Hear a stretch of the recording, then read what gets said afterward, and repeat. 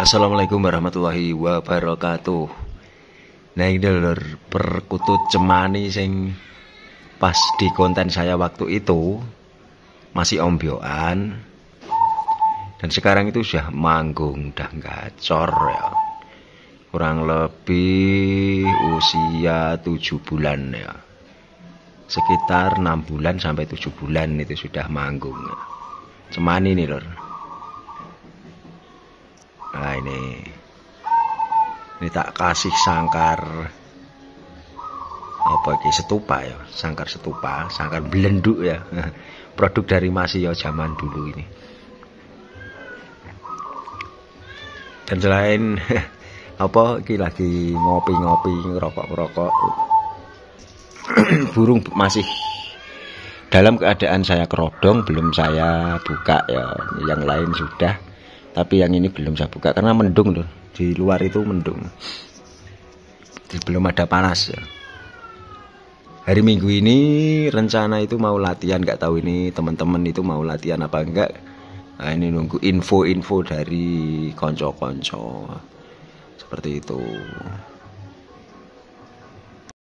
Nah hari minggu ini acaranya santai ngopi sambil cerita nih sambil ke manuk kutut ya untuk teman-teman semua. Dulur-dulurku kabeh ya, sing sudah mengikuti channel YouTube saya. Terima kasih pokoknya yang sudah selalu support di channel YouTube saya. Ini acaranya nunggu uh, info dari konco-konco. Katanya hari Minggu ini mau latihan burung perkutut ya.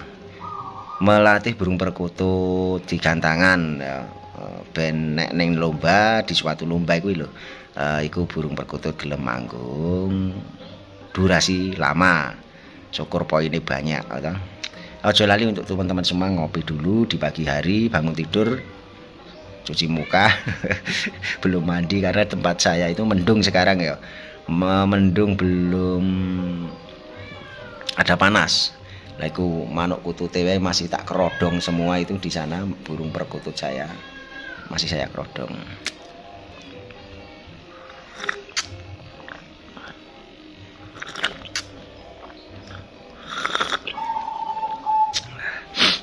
Nah itu perkutut cemani yang barusan saya ceritakan, yang barusan saya pelihara kurang lebih tujuh bulan sampai ya enam bulan sampai tujuh bulan itu dari ombyokan waktu itu udah manggung. Lah itu bisa didengarkan suaranya ya. Nah ini ini perkutut cemani. Dan untuk konco-konco sing uh, memelihara burung perkutut sing dari ombyokan itu jangan putus asa, jangan patah semangat karena apa ya? uh, untuk me, apa jenenge untuk memelihara burung perkutut ya memang harus sabar ya urus sabar dan membutuhkan kesabaran yang tingkat tinggi ya karena memang untuk mendapatkan anggungan yang maksimal anggungan yang uh, suara bagus suara merdu itu ya memang butuh kesabaran butuh waktu. Tidak instan ya seperti itu. Apalagi dari ombyokan ataupun dari tangkapan uh, hutan ataupun tangkapan liar tangkapan sawah tegalan ladang seperti itu cepat lagi kalau dari tangkapan uh, pikat ya pikat uh, sangkar jeplak itu lebih cepat ya lur karena dia mempunyai mental ya. Karena mempunyai mental. Dan bisa dibeli itu eh, teman-teman kita kan pada waktu mikat itu kan mendapatkan poin itu kan kita bisa membelinya di situ. Situ carilah kan mempunyai mental. Karena apa? Yang untuk mikat itu kan sesama burung perkutut ya entah itu perkutut jantan ataupun perkutut betina ya. Jadi untuk mendapatkan burung perkutut yang bermental itu pikat itu juga bisa ya untuk burung perkutut. Hasil pikat maksudnya pikatnya pikat jeplak sangkar jeplak itu loh. Seperti itu. Tapi ya tidak menutup kemungkinan yang untuk jaringan pulutan itu ya juga kalau kita bejo itu ya ada yang bermental juga karena apa ya e, dari sekian ribu perkutut di alam kita tidak tahu yang didapatkan kita ataupun yang e, di rumah kita itu di alamnya juga aslinya itu juga bermental. Tetapi adaptasi lingkungan adaptasi rumah kan juga berpengaruh penting dalam uh, perawatan burung perkutut maupun dalam uh, situasi burung perkutut mau manggung itu uh, kita sendiri yang harus menentukan uh, entah itu lokasi pas waktu digantang itu di sebelah mana pas waktu uh, perawatan perkutut bagaimana dan pas waktu settingan makanan maupun settingan yang lainnya itu harus bagaimana. Nah seperti itu. Nah itu di perkutut saya di luar itu juga dari pagi tadi bunyi terus ya dari sebelum saya bangun tidur dari subuh ya dari subuh bunyi terus. Saya ki dino minggu kita tangi gasik lur karena apa ya? Padahal semalam ber, begadang sampai jam berapa itu?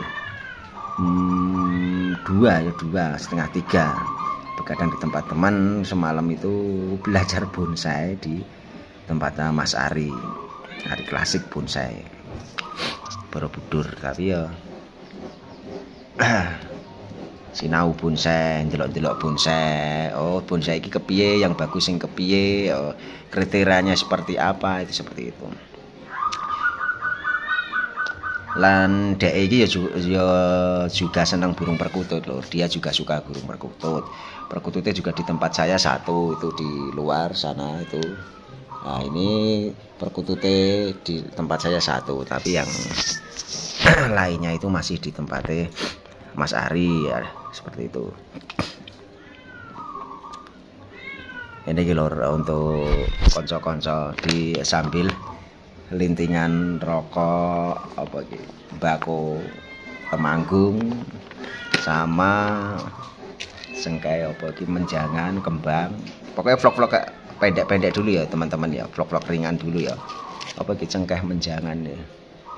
Cengkeh menjangan. Kenapa enggak enggak enggak ada cengkeh yang namanya cengkeh perkutut ya, ya adanya cengkeh menjangan apa nih ya? Mbak kalau kalau uh, pabrik uh, buat produk merek cengkeh perkutut seperti itu ya. Ben apa ya? Ciri khas Indonesia. Ciri khas bangsa Indonesia ya cengkeh perkutut. Menjangan juga Indonesia deh. Menjangan seperti itu. Kan lebih lebih apa ya? Cengkeh perkutut gitu lebih enak didengar dan lebih uh, wibawa nih ono gitu loh uh, wibawanya ada. Ya lho. jadi untuk konco-konco kabeh sih peh produksi cengkeh uh, para bos-bos para apa ya sing duwe pabrik-pabrik cengkeh kuwi kalau bikin cengkeh perkutut itu mungkin lebih lebih der lah, maksudnya lebih booming mungkin ya lebih payu ya. Mungkin karena dari namanya sudah uh, berbobot wibawa seperti itu.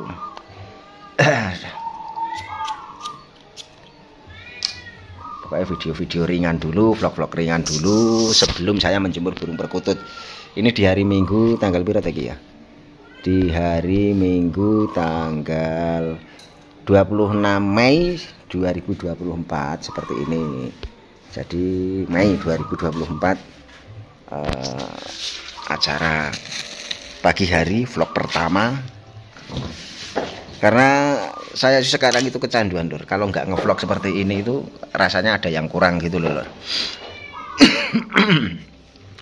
jadi yo kadang tak isi vlog-vlog dengan uh, tutorial kadang tak isi vlog dengan apa edukasi kadang tak isi vlog seperti ya pokoknya waton apa ya video lah waton video yang penting teman-teman yang uh, ada yang suka hiburan ada yang suka edukasi yang ada yang suka eh, vlog-vlog uh, ringan kan ya juga apa ya tetap melihatlah seperti itu ya. Dan mudah-mudahan tetap terhibur maupun bermanfaat seperti itu ya.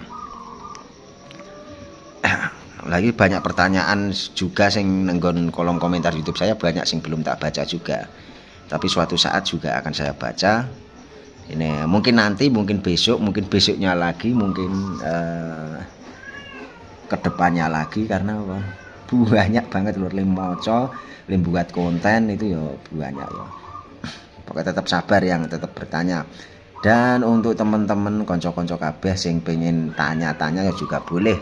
Silahkan komen di kolom komentar YouTube saya. Ini seputaran apa saja yang penting tetap uh, apa ya pertanyaannya itu bisa saya jawab saya jawab sesuai pengalaman saya pribadi ataupun sesuai pengalaman-pengalaman teman-teman yang sudah uh, ataupun orang-orang sepuh zaman dahulu yang sudah saya korek atau wawancarai. Ya dan kan saya mempunyai beberapa uh, apa ya istilahnya itu pengalaman-pengalaman dari orang tua zaman dahulu yang sering saya wawancarai. Karena apa?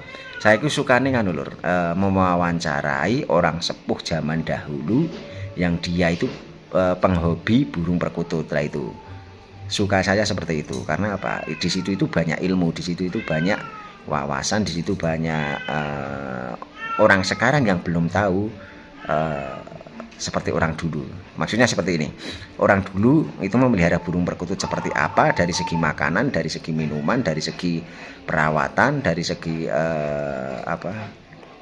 Dia itu memelihara untuk perkutut muda perkutut tua itu seperti apa? Itu cerita-ceritanya itu sangat menarik ya. Dan uh, sejarah dia memelihara burung perkutut dari tahun berapa dari uh, apa istilahnya itu perkututnya itu entah itu dari segi kodam dari segi zoni dari segi katurangan dari segi suara maupun dari segi apa irama lagu. Dulu itu banyak cerita seperti itu. Orang tua zaman dahulu sering uh, menceritakan seperti itu. Jadi saya senang kalau mewawancarai entah itu di lomba burung perkutut maupun di pedesaan-pedesaan yang suka burung perkutut uh, sering saya wawancarai itu saya sukanya seperti itu dan alhamdulillah di YouTube saya ini kalau saya sering mewawancarai orang-orang itu ya juga teman-teman pada suka ya. Udah seneng lah istilahnya. Ngajari cerita-cerita wong tua wong tua zaman biyen tentang uh, ngingu kutut itu wong-wong sudah seneng seperti itu ya. Ya wes vlog-vlog pendek dulu ya untuk konco-konco kabeh sedulur-sedulur kabeh di channel Agung Nur Saladin iki uh, mudah-mudahan manfaat ya uh, manfaat menghibur. Dan ini vlog pertama saya di tanggal 26 Mei 2024 uh, seperti itu. Dan terima kasih saya akhiri. Wabillahi taufik walidayah wassalamualaikum warahmatullahi wabarakatuh